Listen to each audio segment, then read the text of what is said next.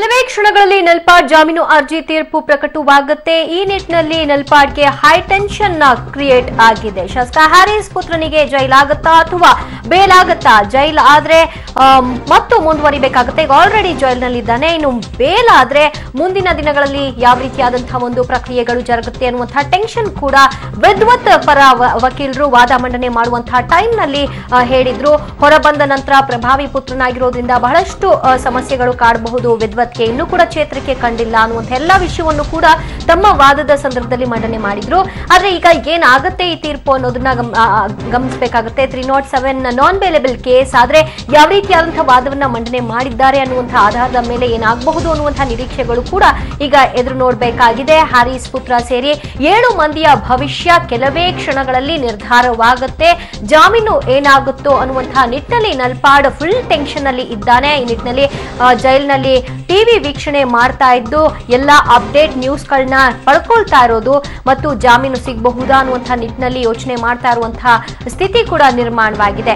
ಇನ್ನು ಈಗಷ್ಟೇ ಕೆಲವೇ ಕ್ಷಣಗಳ ಮುಂಚಿತವಾಗಿ ಕೋರ್ಟ್ ಕೋರ್ಟ್ ಆವರಣಕ್ಕೆ ನ್ಯಾಯಾಧೀಶರು ಕೂಡ ಬಂದಿದ್ದಾರೆ. ಕೆಲವೇ ಕ್ಷಣಗಳಲ್ಲಿ ಸೆಷನ್ಸ್ ಕೋರ್ಟ್ ಆದೇಶವನ್ನ ಪ್ರಕಟ ಮಾಡುತ್ತೆ. ಈ ಆದೇಶ ಪ್ರಕಟ ಆದ ಕೂಡಲೇ ಯಾವ ರೀತಿಯಾದಂತಹ ಒಂದು ಮಂದಹಾಸ ನಲ್ಪಾಡ ಮುಖದಲ್ಲಿ ಕಾಣಬಹುದು ಅಥವಾ ನಿರಾಶೆಯ ಭಾವ ಕಾಣಬಹುದು ಅನ್ನೋದನ್ನು ಕೂಡ ನಾವು ನೋಡಬಹುದಾಗಿದೆ. ಜಾಮೀನು ಅರ್ಜಿಯ ತೀರ್ಪು ಕೆಲವೇ ಕ್ಷಣಗಳಲ್ಲಿ ಪ್ರಕಟವಾಗಲಿದೆ. ಒಟ್ನಲ್ಲಿ ಶಾಸಕ ಹರೀಸ್ ಮಗ ರಿಲೀಸ್ ಆಗ್ತಾನಾ ಅಥವಾ ಜೈಲಿನಲ್ಲೇ ಫಿಕ್ಸ್ ಆಗ್ತಾನಾ ಅನ್ನುವಂತಹ ಪ್ರಶ್ನೆ ಈಗ ಎದ್ದು ಕಾಡ್ತಾ ಇದೆ. ಈ ಬಗ್ಗೆ ಹೆಚ್ಚಿನ ಡೀಟೇಲ್ಸ್ ಕೊಡ್ತಾರೆ ನಮ್ಮ ಪ್ರತಿನಿಧಿ ಮುರಳೀಧರ್ ಮುರಳೀಧರ್, ಏನ್ ಏನ್ ನಡೀತಾ ಇದೆ ಈಗ ಸದ್ಯಕ್ಕೆ? ಪ್ರೆಸೆಂಟ್ಲಿ ಈಗ ದಿವ್ಯಾ ಏನು ನ್ಯಾಯಾಧೀಶರು ಈಗಾಗಲೇ ಕೋರ್ಟ್ ಆವರಣಕ್ಕೆ ಆಗ- ಆಗಮಿಸಿದಂತೂ, ಆಗಮಿಸಿ ಈಗಾಗಲೇ ಎಲ್ಲಾ ಕಲಾಪಗಳು, ಕಲಾಪಕ್ಕೆ ಸಂಬಂಧಪಟ್ಟಂತೆ ಏನ್ ಫೈಲ್ ಏನಿತ್ತು, ಇದಕ್ಕೆ ಸಂಬಂಧಪಟ್ಟಂತ ಫೈಲ್ ಏನಿತ್ತು, ಆ ಫೈಲ್ಗೆ ಸಂಬಂಧಪಟ್ಟಂತೆ ಇನ್ನೊಂದಷ್ಟು ಮತ್ತೆ ಚೆಕ್ ಅನ್ನ ಮಾಡ್ತಾ ಇದಾರೆ. ಚೆಕ್ ಅನ್ನ ಮಾಡಿದ ನಂತರ ಬಹುಶಃ ಇನ್ನೊಂದು ಹತ್ತು ನಿಮಿಷದ ಒಳಗಡೆ ಆದೇಶವನ್ನು ಹೊರ ಹಾಕುವ ಸಾಧ್ಯತೆಗಳಿದಾವೆ. ಯಾಕಂದ್ರೆ ಎಲ್ಲರೂ ಸಹ ಕುತೂಹಲದಿಂದ ಕಾಯ್ತಾ ಇರುವಂತದ್ದು ಏನಾಗ್ಬೋದು ನಲ್ಪಾಡ್ಗಿ ಜಾಮೀನು ಅರ್ಜಿ ಏನೋ ಜಾಮೀನ್ ಸಿಗುತ್ತಾ ಇಲ್ಲ, ಏನೋ ಜೈಲಲ್ಲೇ ಫಿಕ್ಸ್ ಆಗುವಂತ ಸಾಧ್ಯತೆಗಳಿದಾವ ಅನ್ನೋ ಹಿನ್ನೆಲೆಯಲ್ಲಿ ಎಲ್ಲರೂ ಸಹ ಕುತೂಹಲದಿಂದ ಕಾಯ್ತಾ ಇರುವಂತದ್ದು ಈಗಾಗಲೇ ನ್ಯಾಯಾಧೀಶರು ತಮ್ಮ ಸ್ಥಾನಕ್ಕೆ ಬಂದು ಅಲ್ಲಿ ಹತ್ತು ಹತ್ತು, ಹದಿನೈದು ನಿಮಿಷ ಆಯ್ತು, ಹದಿನೈದು ನಿಮಿಷದಿಂದ ಸಹ ಒಂದು, ಒಂದಷ್ಟು ಫೈಲ್ಗಳನ್ನ ಓಪನ್ ಮಾಡಿ ಅದನ್ನ ನೋಡ್ತಾ ಇದಾರೆ. ಅದಕ್ಕೆ ಇನ್ನೂ ಸಹ ಏನು ಈ ಪ್ರಕರಣ ಏನಿತ್ತು ಕೇಸ್ ನಂಬರ್ ಇನ್ನೂ ಏನು ಕೂಗಿಲ್ಲ, ಕೂಗಿಲ್ದೇ ಇರೋ ಹಿನ್ನೆಲೆಯಲ್ಲಿ ಎಲ್ಲರೂ ಸಹ ಕುತೂಹಲದಿಂದ ಕಾಯ್ತಾ ಇರುವಂತದ್ದು ಬಹುಶಃ ಇನ್ನೊಂದು ಐದರಿಂದ ಹತ್ತು ನಿಮಿಷದ ಒಳಗಡೆ ಆದೇಶ ಹೊರಬೀಳೋ ಸಾಧ್ಯತೆಗಳಿದಾವೆ. ಆ ಹಿನ್ನೆಲೆಯಲ್ಲಿ ಎಲ್ಲರೂ ಆ, ಎಸ್ ಮುರಳೀಧರ್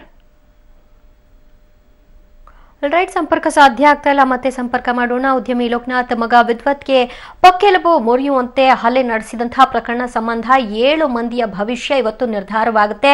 ನಲ್ಪಾಡ್ಗೆ ಮುಂದಿನ ದಿನಗಳಲ್ಲಿ ಬಿರಿಯಾನಿನ ಅಥವಾ ವಾಂಗಿಬಾತ ಅನ್ನುವಂಥದ್ದು ಬಿರಿಯಾನಿ ಜೈಲಲ್ಲಿ ಇದ್ಕೊಂಡು ಕೂಡ ತರ್ಸ್ಕೊಂಡು ತಿಂತಾ ಇದ್ದಾನೆ ಅನ್ನುವಂಥದ್ದು ಸೆಕೆಂಡ್ರಿ ಬಟ್ ಸ್ಟಿಲ್ ನಲ್ಪಾಡ್ ಜೈಲಿನಲ್ಲೇ ಇರೋದಾದ್ರೆ ಒಂದ್ ಅರ್ಥದಲ್ಲಿ ಬಹಳಷ್ಟು ಟೆನ್ಷನ್ ಹ್ಯಾರಿಸ್ ಅವ್ರಿಗೂ ಕೂಡ ಕಾಡುತ್ತೆ. ಅವರ ಮುಂದಿನ ರಾಜಕೀಯ ಭವಿಷ್ಯವೂ ಕೂಡ ಇಲ್ಲಿ ಅಡಗಿದೆ ಅಂತ ಹೇಳಲಾಗ್ತಾ ಇದೆ.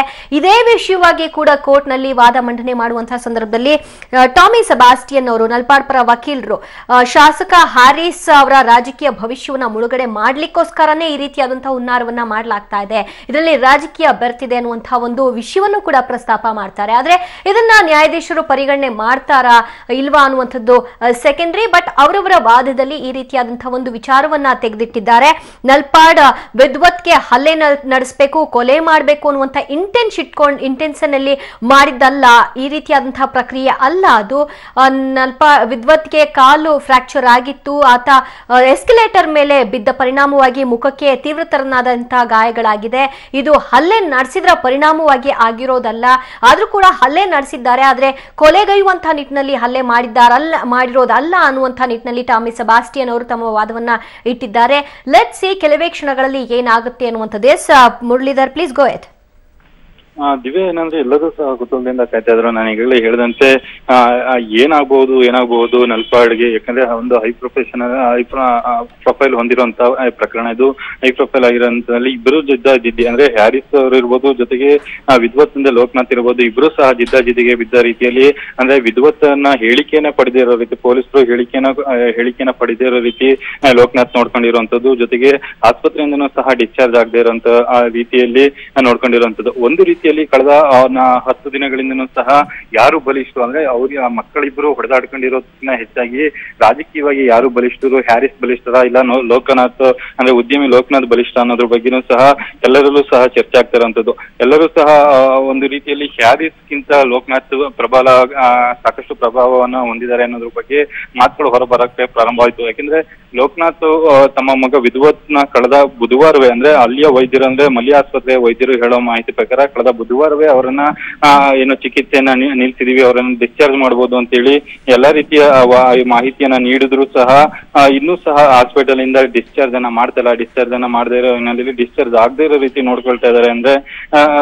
ಡಿಸ್ಚಾರ್ಜ್ ಆಗದೇ ಇರೋ ರೀತಿ ನೋಡ್ಕೊಳ್ತಾ ಇದಾರೆ ಲೋಕನಾಥ್ ಎಷ್ಟು ಪ್ರಭಾವಶಾಲಿ ಅನ್ನೋ ರೀತಿಯನ್ನು ಸಹ ಸಾಕಷ್ಟು ಸಾರ್ವಜನಿಕ ವಲಯಗಳಲ್ಲಿ ಮಾತುಗಳು ಬರ್ತಾ ಇರುವಂತದ್ದು ಅಂದ್ರೆ ಜೊತೆಗೆ ಸಿಸಿಬಿ ಪೊಲೀಸರು ವಿದ್ವತ್ನ ಹೇಳಿಕೆಯನ್ನ ಪಡಿಲಿಕ್ಕೆ ಎರಡು ಬಾರಿ ಪ್ರಯತ್ನ ಮಾಡ್ತಾರೆ. ಎರಡು ಬಾರಿ ಪ್ರಯತ್ನ ಮಾಡಿದ ಸಂದರ್ಭದಲ್ಲೂ ಸಹ ತನಿಖಾಧಿಕಾರಿಗಳಿಗೆ ತನಿಖಾಧಿಕಾರಿಗಳೇನಿದ್ರು, ಅವ್ರಿಗೆ ಯಾವುದೇ ರೀತಿ ಆಗದೆ ಇರೋ ರೀತಿ, ಅಂದ್ರೆ ಪಡೆಯಲಿಕ್ಕೆ ಪಡಿಲಿಕ್ಕೆ ಆಗದೆ ಇರೋ ರೀತಿ ಏನ್ ಮಾಡಬಹುದು ಅವರನ್ನ ಯಾವ ರೀತಿ ಹೋಲ್ಡ್ ಅನ್ನ ಮಾಡಬಹುದು ಅನ್ನೋದನ್ನ ಅನ್ನೋದನ್ನ ಏನು ಲೋಕನಾಥ್ ನೋಡ್ಕೊಂಡಿದ್ರು, ಅದೇ ರೀತಿಯಲ್ಲಿ ಪೊಲೀಸರು ಯಾವುದೇ ರೀತಿ ಹೇಳಿಕೆಯನ್ನು ಹೇಳಿಕೆಯನ್ನ ಪಡಿಬಾರ್ದು. ಅಂದ್ರೆ ವಿಧ್ವತ್ ಏನಾದ್ರು ಹೇಳಿಕೆಯನ್ನ ಕೊಟ್ರೆ ಜೊತೆಗೆ ಆತನನ್ನ ಹಾಸ್ಪಿಟಲ್ ಇಂದ ಡಿಸ್ಚಾರ್ಜ್ ಮಾಡಿದ್ರೆ ನಲ್ಪಾಡ್ಗೆ ಈಸಿಯಾಗಿ, ಅಂದ್ರೆ ತ್ರೀ ನಾಟ್ ಸೆವೆನ್ ಕೇಸಲ್ಲಿ ಏನು ವಿಕ್ಟಿಮ್ ಏನಿರ್ತಾನೆ ವಿಕ್ಟಿಮ್ ಹಾಸ್ಪಿಟಲ್ ಇಂದ ಡಿಸ್ಚಾರ್ಜ್ ಆಗಿದ್ದಾನೆ, ಅವನು ಸ್ಟೇಬಲ್ ಆಗಿದ್ದಾನೆ ಅಂತ ಹೇಳಿದ್ರು.